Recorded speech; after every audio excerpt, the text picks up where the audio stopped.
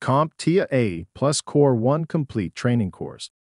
Exam Objective 2.4 Summarize services provided by networked hosts, legacy and embedded systems. Let's begin this video with defining what a legacy system is. In the realm of IT, a legacy system refers to outdated computer systems, software, or technology that is still in use, despite newer versions being available. These systems are often critical to an organization's daily operations, making upgrading or replacing them a complex, risky, or costly endeavor. They may lack support, updates, or compatibility with newer technologies, which can pose challenges in terms of security and efficiency.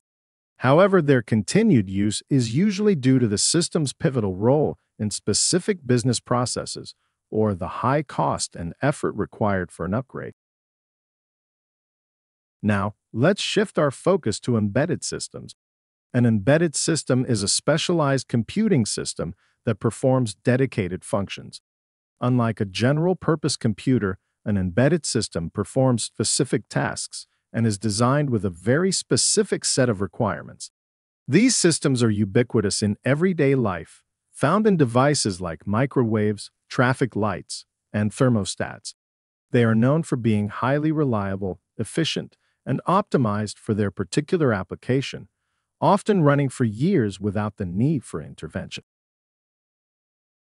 Finally, to keep in step with the CompTIA A plus Core 1 exam objectives, let's discuss how these concepts apply to SCADA systems. SCADA, or Supervisory Control and Data Acquisition Systems, are designed to monitor and control industrial environments. These systems often rely on a combination of legacy and embedded systems.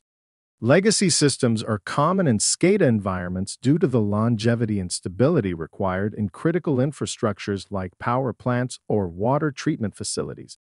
Embedded systems, on the other hand, are used within SCADA for specific control tasks like regulating the pressure in pipelines or maintaining temperatures in industrial processes. Their reliability and efficiency make embedded systems ideal for these critical control functions.